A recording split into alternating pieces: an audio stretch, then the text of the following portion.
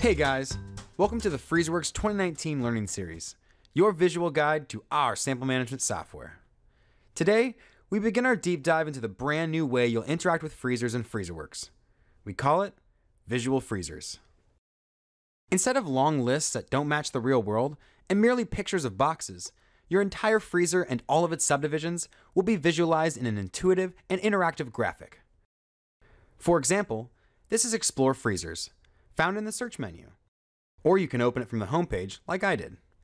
Your physical freezers are listed on the left, as well as a Freezer Aliases tab if you'd rather start there.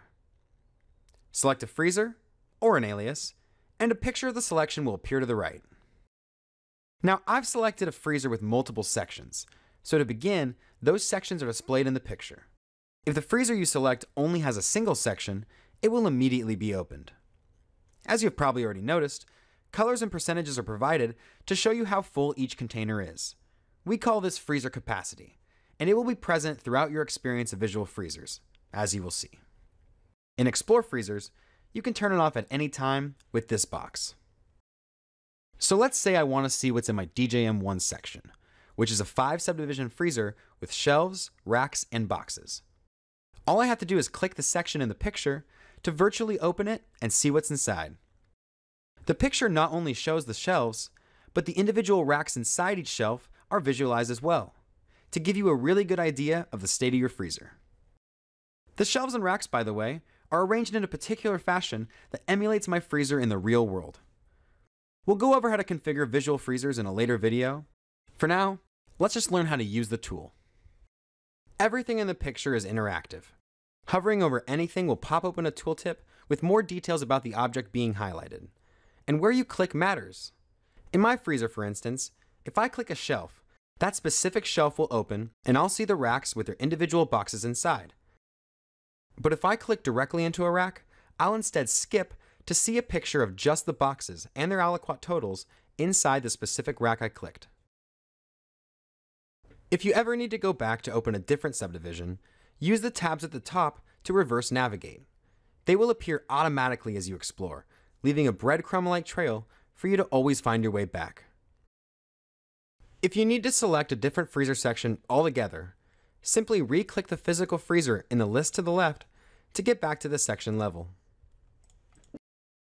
Now once you have drilled all the way down into a box and can see the individual positions and currently occupying aliquots, what you can do with the picture increases.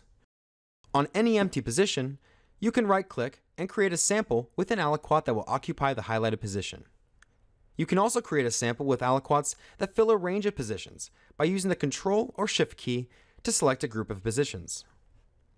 Instead of right-clicking, you can also highlight and click the Actions menu button, which contains the same options as the right-click menu.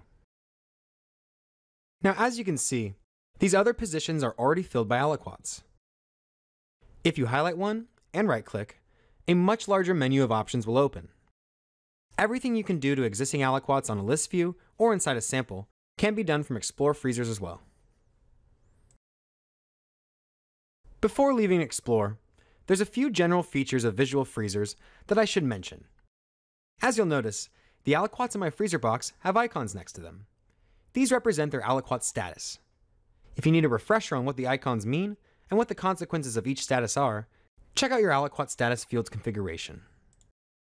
All of my aliquots also have color on them, color that differs from the freezer capacity we saw earlier. These colors are determined by the field chosen in this color dropdown, so I can quickly change the way my aliquots are colored on the fly. We will go over this in greater detail in a later video, but freezer box colors will no longer be set up freezer to freezer. Instead, system-wide field definitions will be used, so that freezers are colored just like your list views and entry forms. Any field that has color formatting set up in its configuration will be available in this dropdown. Remember that this dropdown is also in user preferences as a default setting. Finally, if you find yourself squinting while exploring freezers, whether due to your screen size or the number of subdivisions in the picture, feel free to resize the Explore Freezers window at any time. The picture itself will grow and shrink to match whatever size you need. And that about does it for our first look at visual freezers. We looked at Explore Freezers and how the new visual interface works in general. Next time, we'll look at the more specialized visual freezers tool, Move Aliquots, which should feel very familiar after today. And if you're still wondering how to configure visual freezers to match your environment, look for part 4 in this series. Thanks as always for watching, and we'll see you next time.